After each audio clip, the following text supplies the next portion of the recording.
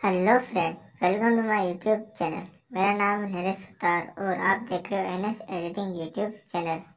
तो आज हम कुछ स्टेप की अपने लाइटर मोबाइल के ऐप की सहायता से फ़ोटो एडिटिंग करने वाले हैं और आप भी इस टाइप की फ़ोटो एडिटिंग अपने लाइटर मोबाइल के ऐप की सहायता से करना चाहते हो तो वीडियो को बिना स्किप किए फुल वॉच करना। तो चलो वीडियो शुरू करते हैं।